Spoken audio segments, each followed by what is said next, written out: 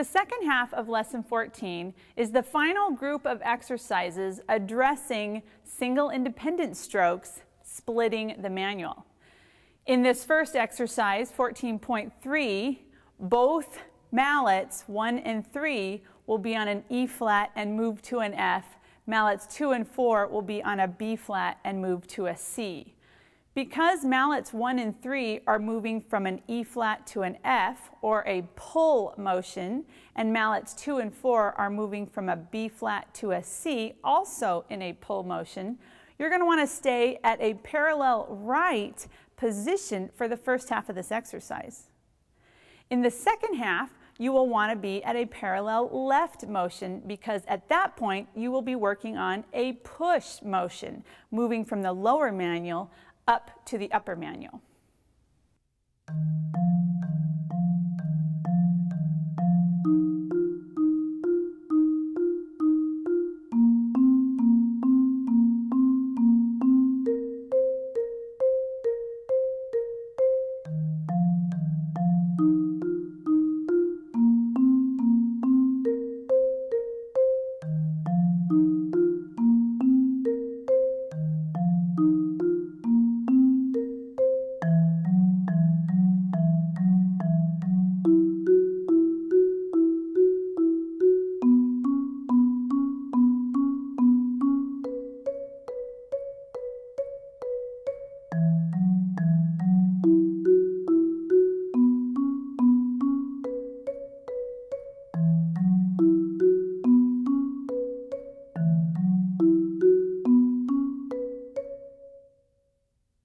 14.4, the same concepts. This time, instead of moving in a stepwise motion up the instrument, we're going to move in a stepwise motion down the instrument.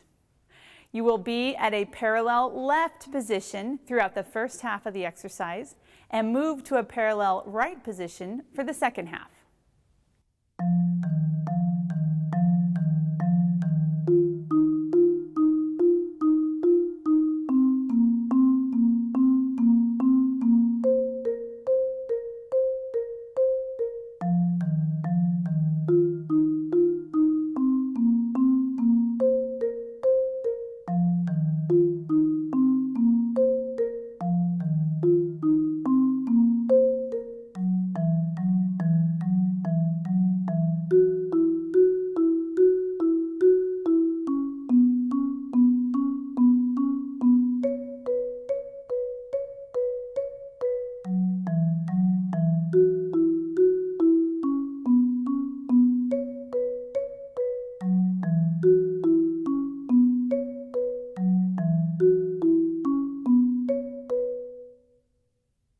'If you like, as an added technique to this exercise, a challenge would be to combine measures one and two. So you play them in octaves, and then you play mallets two and four in octaves.